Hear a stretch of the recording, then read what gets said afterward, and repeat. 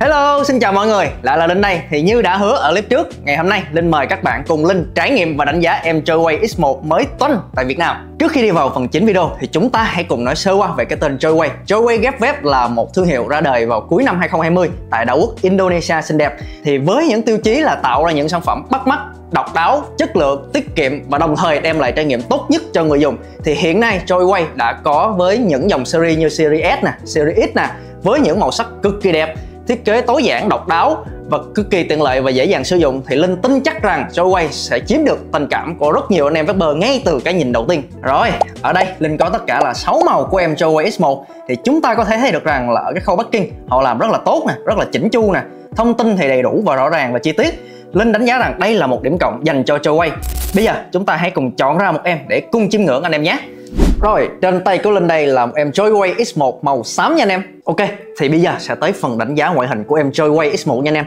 Thì uh, trong cái hộp của em này sẽ có kèm theo cho chúng ta một cái đầu bot 0.6 nha. Và về cái phần ngoại hình của em này thì Linh cảm thấy rằng là rất là mượt mà luôn. Cái thiết kế được tinh giản rất là tuyệt vời Không có gì chê được. Thêm một cái nữa thì cầm nắm rất là dễ chịu Không có bị, bị to quá hay là nặng quá và về cái phần mà thiết kế giữa cái chân cắm sạc và cái airflow thì được thiết kế một cách, gọi là, rất là hài hòa, rất là cân đối luôn. Có một điểm mà mình khá tiếc ở cái em Joe S1 này, đó là cái phần nắp này không thể nào mà mở ra được. Cho nên là nếu mà chúng ta mở ra được, chúng ta sẽ có thêm rất nhiều đồ chơi nữa, anh em à cho nên là đây là một cái điểm mà mình khá là tiếc ở cái em Joe nhưng mà có một cái điểm mạnh mà mình lại cực kỳ thích ở em Joe đó là cái phần đèn ở cái logo. Thì khi mà chúng ta sử dụng thì cái phần đèn này sẽ sáng lên, hoặc là khi chúng ta gắn cái đầu bot vào. Đây đó, đèn sáng lên 7 màu cực kỳ đẹp, cực kỳ cá tính luôn anh em ạ. À. Dành cho những anh em nào chưa biết thì em Joe X1 này sẽ có hai loại đầu boss trở kháng, đó là 0.6 và 0.8 và trong mỗi một hộp như thế này chúng ta sẽ có tổng cộng tất cả là 6 đầu nha anh em, tức là sẽ có hai vỉ mỗi một vỉ sẽ là ba cái. Đây, rồi bây giờ Linh sẽ trải nghiệm với cái đầu 0.6 và với hai chai này. Hai chai dầu, một chai dầu trái cây và một chai dầu bánh béo.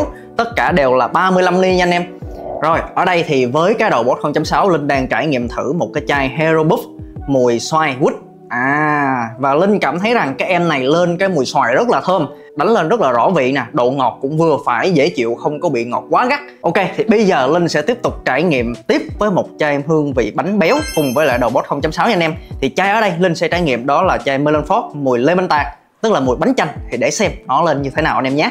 Uhm. Robot 0.6 của em Joe S1 này đánh ngậy cực kỳ đỉnh luôn nha anh em. Mình cảm thấy rằng là cái độ béo, độ ngậy lên rất là tốt, rất là tuyệt vời. Và thêm một cái nữa là không hề bị gắt một tí nào cả. Và độ ngọt cũng rất là nịnh miệng, rất là dễ chịu. Mình đánh giá rằng những anh em mà tính đồ bánh béo giống như mình thì không nên bỏ lỡ qua em Joe S1 này. Ngoài đầu bot 0.6 ra thì em Joe S1 này còn có đầu bot 0.8 Linh đã test đủ qua 6996 kiểu và Linh cảm thấy rằng Joe họ đã làm rất tốt ở cái khâu này. Với tổng cộng 6 màu sắc tất cả thì anh em có thể thoải mái chọn lựa màu mà mình cảm thấy yêu thích và phù hợp nhất.